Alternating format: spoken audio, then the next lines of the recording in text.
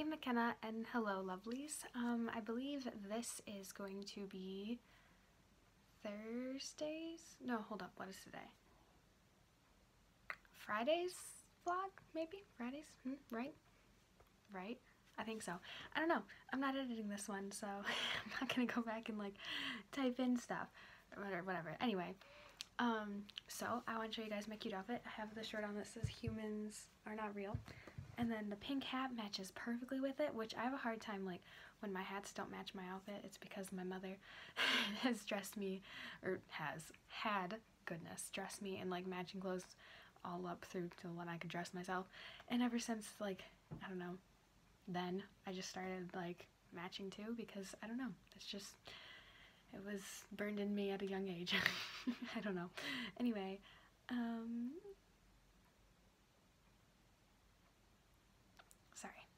someone was about to come in.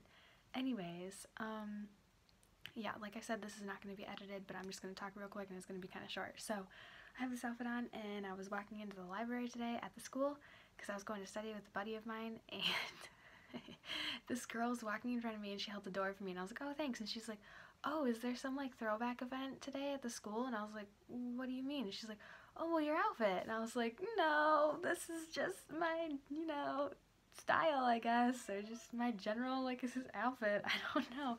My mom's yelling for my brother.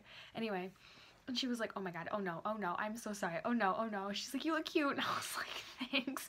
I was like, really though, I know that it looks kind of crazy because I'm like really colorful and it kind of does look 90s. It's like, let me sit back for a second, move the camera a billion more times. Hold on, tip that down. See? And then I have black jeans on, which, okay, I do have blue jeans that match this color, but like if I were to wear that, that would just be a little bit too much, you know what I mean?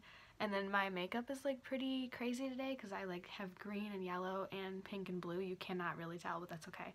Anyway, but I was like, it was really funny. I felt bad that she felt bad, but it literally didn't offend me at all. I was like, heck yeah, I'm bringing back the 90s. Why not, dude? I just need a choker. But I don't know. I just wore the hat because my hair, I've been having really bad hair days lately. Like, look, you can see my little like divot thing. Like those little things I showed in the last vlog, the little things that I call my devil horns. Yeah, this one's not it. This just doesn't know what it's doing. But yeah. Anyway, I don't know what I want my hair to look like, but yeah. Anyways, I'm probably going to study some more tonight. not gonna film it. I gotta do chemistry and then tomorrow, oh yeah. So okay, tomorrow, um, I am driving out to McKenna's house she lives a good distance away from me. Um, I'm bringing my mom to um, an appointment at her mom's business. And um, I'm bringing Kyle too, and we're gonna go to, I keep forgetting whose names I can say, whose names I can't. We're gonna go to Andrea's house, and McKenna's gonna be there. And I keep saying like I'm talking to McKenna, but then at the same time, at the same time, at the same time, um, I just turned British. Um, I'm like talking to like the crowd that's watching so yeah. I'm sorry that I keep switching but you know yeah. I'm just never sure. Anyway I have two bobby pins in the back of my in the back of my hair right now that are poking the back of my head. I was just gonna say I have two bobby pins poking my head but that like wouldn't make really much sense because they're in my hair not just sticking in my head. Anyway back to what I was talking about. So yeah Kyle and I are gonna go to uh, McKenna's sister's house to see the boo boo and I'm excited because you know this is so weird to admit but I'm going to admit it. Like just like holding babies or like small little tiny things like a little puppy or something just makes me happy. Like it just relieves stress you know? Like they literally have on my campus these like therapy dogs I think. Or no I can't remember if that's the exact name of them. I'm sorry if I'm getting it wrong to anyone that knows what I'm talking about. I'm assuming they have them on other campuses. Anywho um, and like during finals week, you can literally like go up there and study and then go to this room and they have just these freaking dogs you get to pet and like they help you like feel better about the stress of the fact that you're probably gonna fail your exams. No, I'm kidding. But like just like the stress of studying and like worrying about grades. But yeah, so I kind of, sorry. My gosh, I'm tired. It's literally not even 10 and I'm exhausted. I'm like, oh my gosh, I just need to sleep better. Anyways, um, so I feel like I want to sit back. I just love this shirt so much. Okay, stop moving the camera.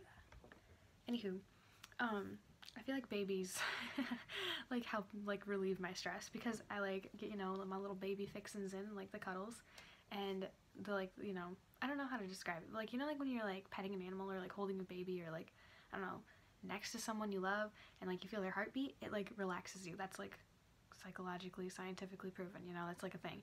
It's kind of like this is true fact. When you like lay a baby on your chest their heartbeat will match yours. True story. But yeah. It's just like an empathy thing i'm pretty sure. But yeah anywho i don't know where i was going with that.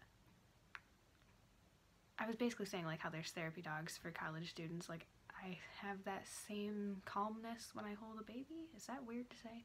I don't know. But yeah. But um I didn't grow up with pets though, and I've never had a pet, which is so sad.